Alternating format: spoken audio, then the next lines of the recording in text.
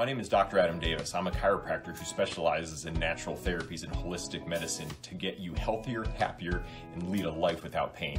I specialize in functional neurology, functional medicine, nutrition, weight loss, acupuncture, and applied kinesiology.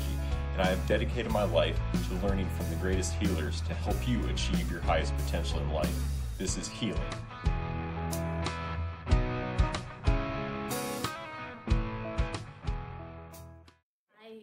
Herniated um, a disc in my back in 2010 and um, I had to have surgery to remove a fragment that was pushing on the nerve root to my leg.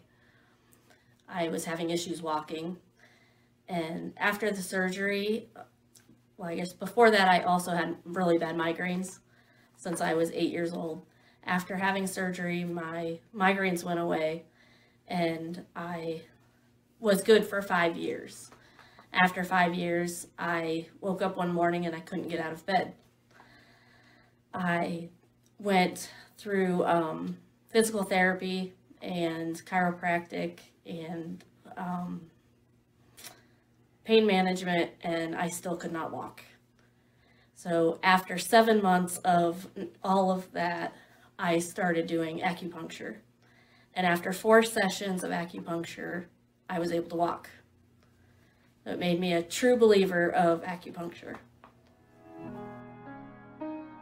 Uh, my mom had cancer and helping her roll over in bed, shower, just the normal activities, I injured my back.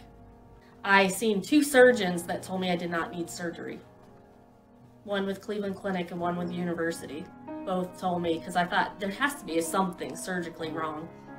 Nope everybody was lost, you know, like they didn't know why I could not walk. I have a three year old. I mean, not being able to get out of bed isn't an option. Yeah, I couldn't sit up, I couldn't walk, I couldn't do anything.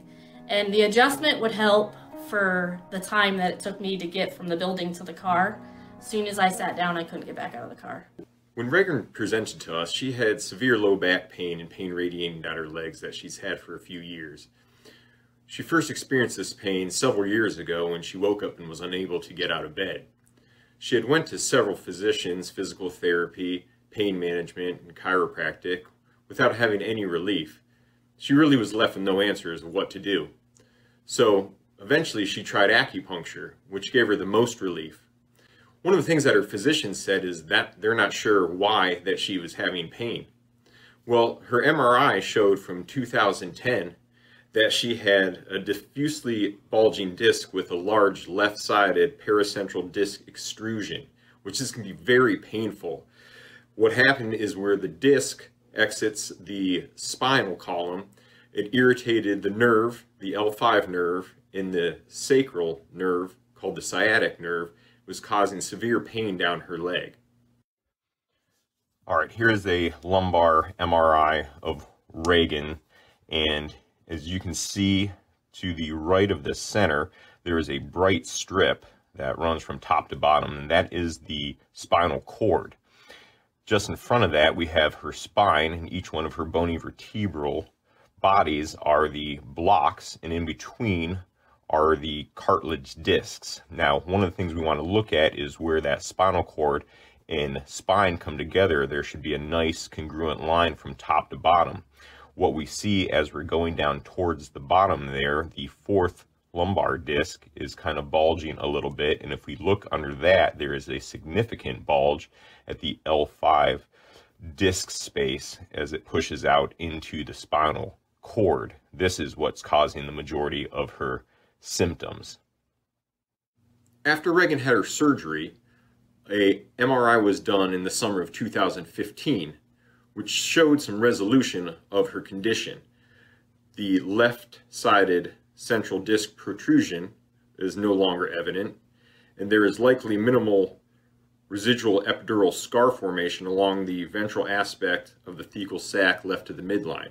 Now this happens after surgery sometimes with patients. Scar tissue gets laid down where the surgery was performed. This can cause permanent and consistent problems, which she still experiences today. She had another MRI later on in 2015. And in that area that she had surgery, a small disc extrusion reoccurred.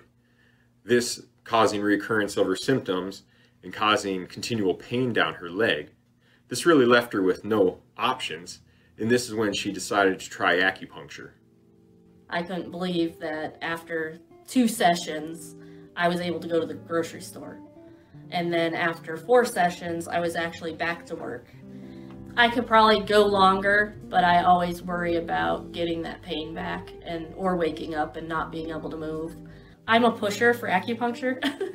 I said anytime any of my friends say anything, I'm like, I'm telling you, just go get acupuncture. I also um, wasn't having a hard time getting pregnant, but it wasn't happening. Like we weren't preventing it. So I also did acupuncture to get pregnant. And within two months, I was pregnant. Acupuncture works. And it's not just for aches and pains. So, and I actually have a friend at work. She went for acupuncture and um, she actually had issues with getting pregnant. Like she's been trying for a couple of years and she I told her about acupuncture, so she went to somebody and she finally did get pregnant.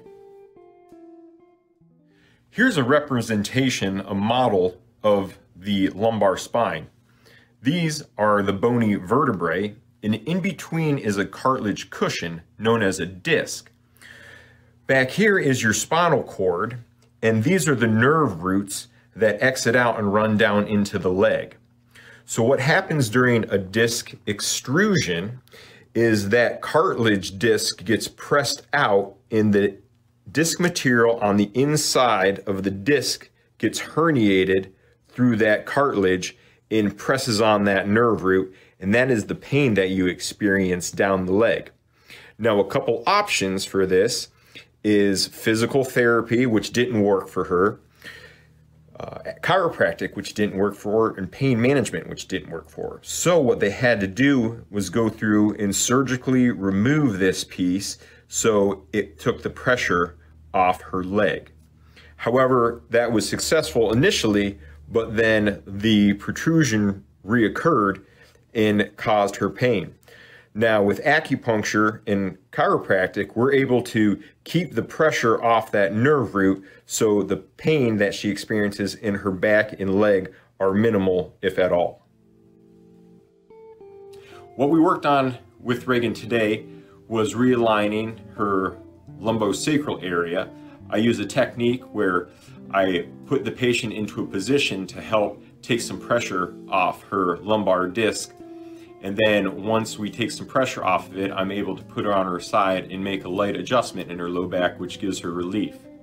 She was also having some issues in her head and neck, which I addressed today with some chiropractic therapy. One of the important things that you need to do when treating a patient who has chronic low back pain is make sure the stabilizing muscles of her abdominals and obliques are working well she had a trigger point in her right oblique, which we used the percussor on to help alleviate her symptoms. One of the techniques that I use while I'm doing acupuncture is a technique called surround the dragon, where we input the needles into the area of complaint to help stimulate the nerves in that area to help reduce pain. We also do stimulation of the neck, ears, and on top of the head to stimulate aspects of the brain that help control and reduce pain. An analogy I like to use is mortar and uh, kind of bricks. Okay, so if the vertebrae are the bricks and the cartilage in between is the mortar, often that wears down and degenerates over time and can, you know, bulge out like we discussed. One of the products that we use to fix this is a collagen powder. The collagen is kind of like mortar to this brick wall and we go through and kind of patch that disc up and get any sort of degeneration or cracks or bulges to heal up and stabilize, ultimately helping their condition and reducing their pain. How many times did uh, Dr. Davis over here tell you he couldn't do anything for you? He has not told me that. I say, it was bad. Like, like, everybody was lost. You know, like they didn't know why I could not walk, which I mean, because you, you can't see inflammation. So they couldn't see it. I had multiple x rays, multiple MRIs. Nothing was showing up on it. There was nothing physically wrong. I just couldn't walk.